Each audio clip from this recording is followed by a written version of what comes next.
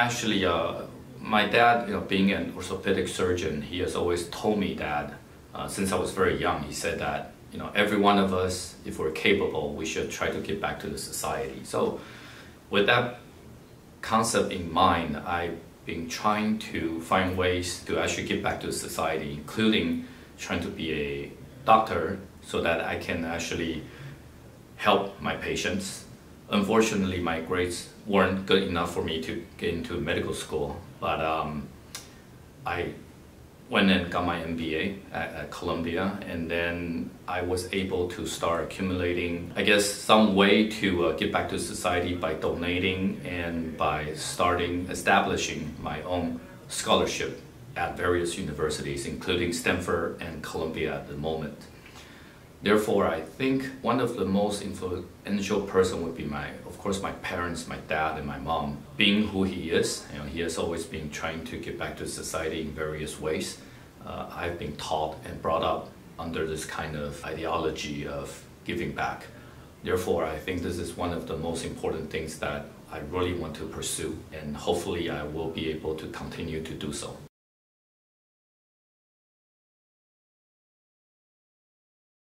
When I was actually five years old, I, I, found this guy lingering outside my house and he, he was shaking involuntarily. So at, at such a young age, I wasn't sure whether he is fine or he needs some medical help.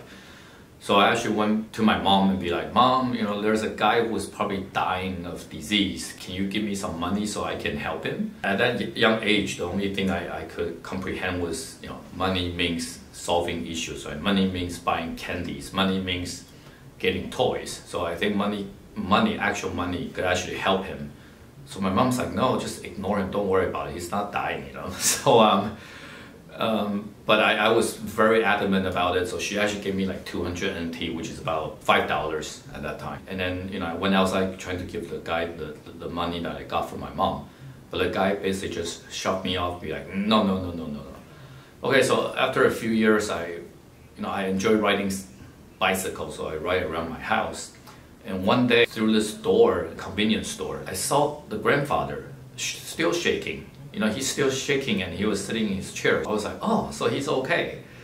So I, I guess my, my father's teaching or belief really affected me since I was five. At such a young age, the only valuable thing or the thing that can actually help others is was money. So I, I tried to take that and use that and then trying to give to another person whom I thought was in need of um, assistance. That would be my first thing ever, that the first thing I ever done uh, in my entire life and I could think of ways that I could help when I wasn't able to try to leverage um, on my mom's financial capabilities uh, to help this, uh, this man. I went to the uh, traditional Taiwanese education until I was fifth grade, I guess the second semester of my fifth grade. And then I went to a international school called Taipei American School in Taiwan. I still remember vividly my English was not good at all. I was really appalled by the fact that we're like dark hair, we're like Chinese, but we can speak perfect English. At that time I was like, oh, I don't like ABC, right? American born Chinese. I feel that they should just speak Chinese, but of course, being an international school, English should be the first language. Of course, there was a little bit of enviness, envying that how can you speak English so well while I, I'm like really poor, poorly spoken English and you know, I was having such a hard time learning English. So that was why I knew I wasn't good enough, so I decided not to work hard on it. After freshman year in high school, I was being sent to a boarding school in, in Massachusetts. And um, I still remember when my roommate Michael met me, you know, he asked me, hey Paul, what's up, right? But I was thinking to myself, what's up? So there was a probably like a five second silence, and this is really long because if you think about five seconds, if you ask someone a question, you know, they, they stall for five seconds. So after stalling, I answered him, uh, the sky. And then Michael was like, oh, Paul, you're very funny. So I was like, oh, thank you, thank you. So, so that was how bad my, my English was. So imagine having such poor English.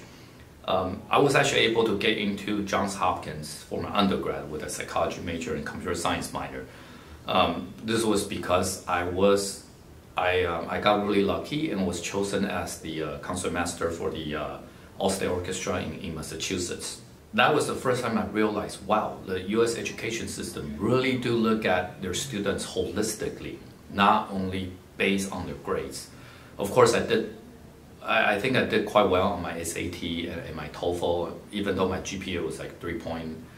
2.76. It was 2.76, so very low. That was how I got into Johns Hopkins.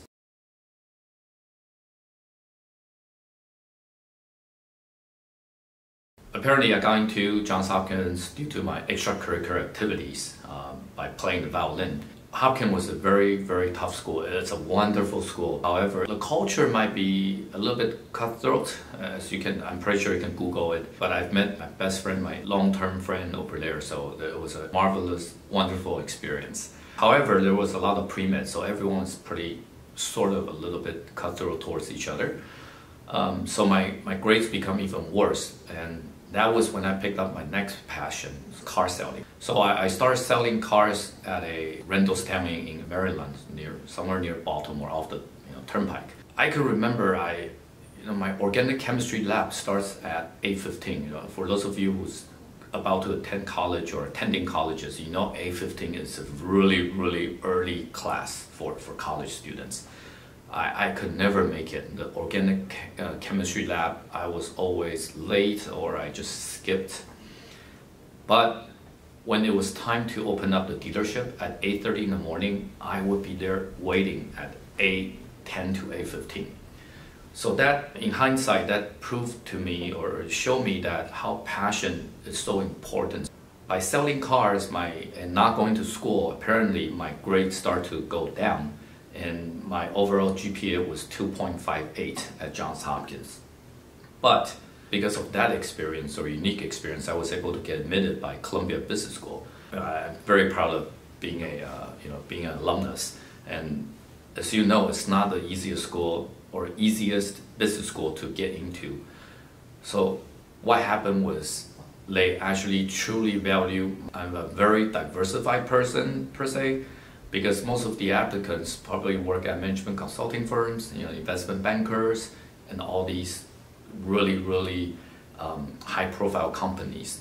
But for me, as a used car sales, I'm pretty sure probably I didn't really have too many competitors per se because most of the applicants, candidates would probably be management consultants, iBanking, or all candidates from prestigious corporations such as General Electric, you know, Merrill Lynch, um, you know, all these Apple, etc. So as a used car sales, you know, the perception of used car sales are guys who are a little bit cheesy and guys, salespeople who are trying to make you buy cars, uh, overpriced used cars. So there are definitely these kind of perception and they're probably not the ones who would apply to business schools, right?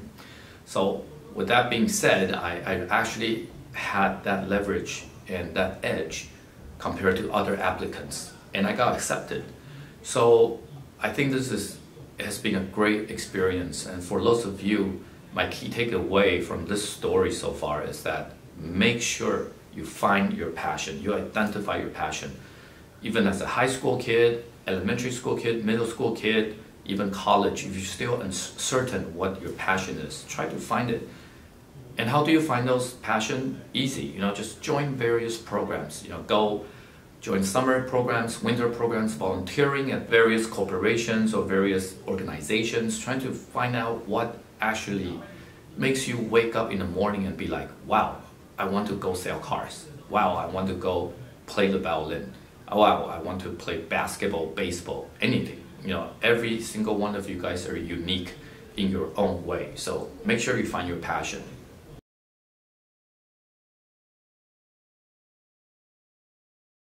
So how how did I transition to where I am today and what I do? Um, so my passion was, you know, first of all, when I was younger, violin, selling cars. Now, I think this would be my life term, life long-term passion would be education. I've always been interested in education. I, when I was in Taiwan for two years uh, before I applied to to the uh, to my MBAs, I, I actually taught at a cramming school or I taught TOEFL, GRE, and GMAT. So I really enjoy education in general, and that's why I'm, I'm in the process of getting my you know doctorate in education um, at Johns Hopkins right now. What happened is, so I started with I started a um, a nonprofit hoping to be able to allow students such as myself who have probably was a little bit late identifying their passion, so they they weren't doing really well in school, but they excel in other areas.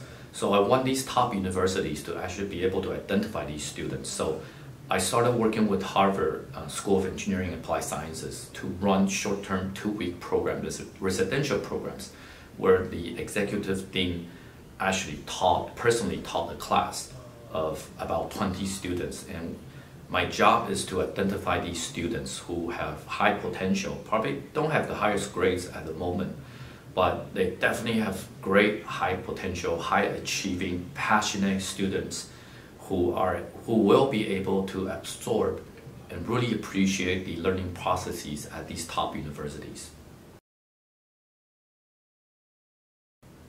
So how did I start with Harvard?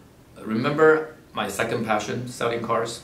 So when I was in Taiwan, I, I used to call this uh, Mr. Huang, he owns a car company, a car service company, which you know airport pickup and drop off company. So one day I was sitting in his car and I told Mr. Huang, "Hey, Mr. Huang, your um, you know passenger rear side shock might be leaking oil," and he was like, "Wow." No, Paul, how, how do you know? I am, I will be actually changing my shock right after I drop you off. So I told him this selling car, used car story. And then he's like, you know, one of my customers who this was this MIT guy, professor, and you know, he, he's also really into cars. Would you like to have lunch or dinner with him sometime? And of course, right? So I, I replied, yes, of course. And of course, I didn't think he would actually invite me because it's very random.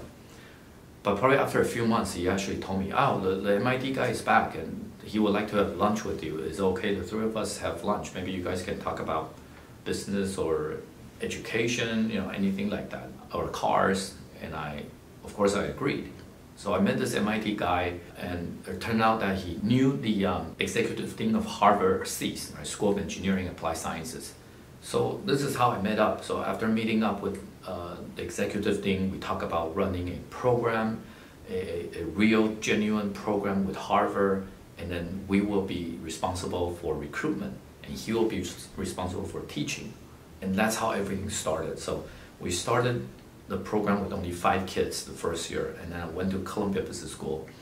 And then they also started an entrepreneurship program with us. And then Caltech followed suit, Stanford Medical School, School, School of Medicine, Berklee College of Music, where I launched the um, entrepreneurship program with uh, Panos Panay, uh, a wonderful guy, Pratt, and then um, Brown University. So we have all these seven universities working with us, running short-term programs, allowing me or allowing us, you know, IEG, to really identify students who are still confused about their passion or what they want to do, so that we can expose them to different areas of interest in hope that they will be able to find out what they love or what they do not like.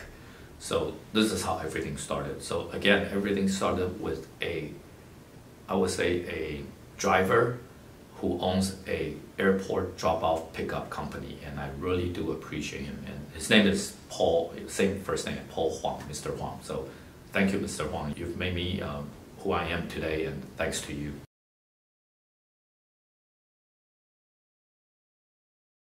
Guess there are three things. The, the, first thing is giving back to the society. Again, this is what my dad has taught me, and this is what I've been living up, trying to live up to.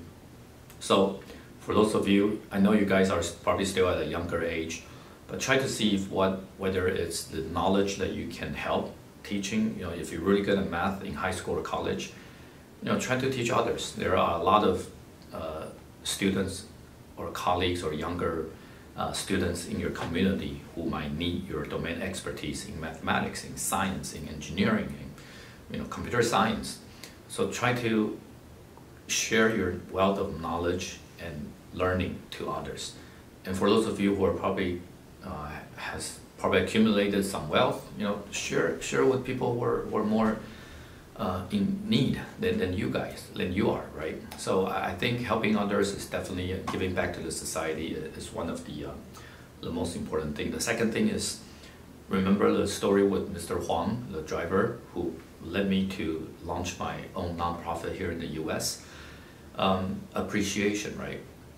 Appreciate every single person you've met in your life. There are different people from different walks of life you're gonna be meeting, and I like what Warren Buffett has said, right? Uh, I think the world probably is not operating on a on a system that he believes should be operating at, uh, meaning that you know nurses and doctors who save lives uh, probably are not compensated or well compensated. A lot of the medical staff are not met, uh, well compensated versus some of these um, uh, huge you know financial uh, sector people.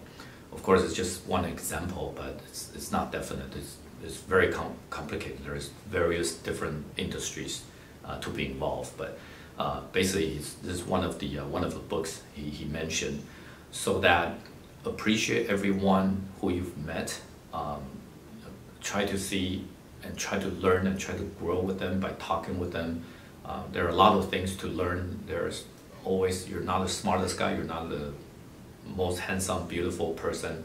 There's always someone who's better than you. Just remember that and be humble.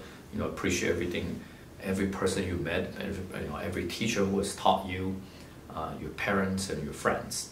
And then finally, um, you need to be very introspective, meaning that so identifying your passions, being introspective. If you're not sure what you want, you know, try to spend some time by yourself thinking about what you like and what you don't like to do. And sometimes knowing what not to do or what you don't like is more important than knowing what to do or what you like. In order to actually do that or execute that, uh, you do need to spend some time by yourself and know who you really are. To sum everything up, you know, I, am learning new things every day. Um, try to keep an open mind, and again, uh, appreciate everyone you've met, everything you've learned, trying to get back to society, try to help others in uh, not not financially, but knowledge-wise or any way you possibly can. And then, of course, you need to be more introspective and understand yourself, understand what you like, what you want, so that you can really excel and then make a difference in this world.